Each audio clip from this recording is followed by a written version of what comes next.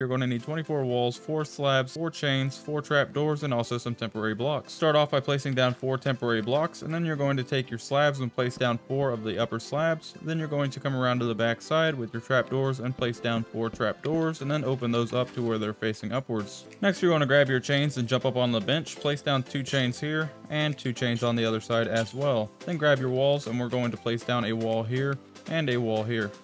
Next, you could connect your walls inside of the center going all the way across to bring this out by 2 on this side and out by 2 on this side. Next, you can go to the end on each side and extend it out by 1 on all 4 corners. And then you can bring these all the way down to the ground. And there you have it, there's your nice and simple, easy to build bench. If you are interested in having any of your avatars sitting down or you want player heads that are sunk down inside of the bench that you can actually sit on, visit the links down inside of the description below. Those are going to be add-ons by Foxy No-Tail, and they make all of this possible. Thanks for watching.